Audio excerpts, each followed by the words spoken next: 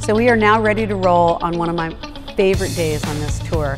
We leave Mammoth Lakes, we ride up to look down the spine of the Sierras at the minarets, and then we work our way up over 10,000 feet into Yosemite National Park. We stop by a lake and have a lunch shoreside up in the Tioga Pass, Tuolumne Meadows area, and then we drop down into Yosemite where you have 3,000 foot cliffs covered with climbers and waterfalls, hotel is right on the river. It's so amazing. It's truly an extraordinary day.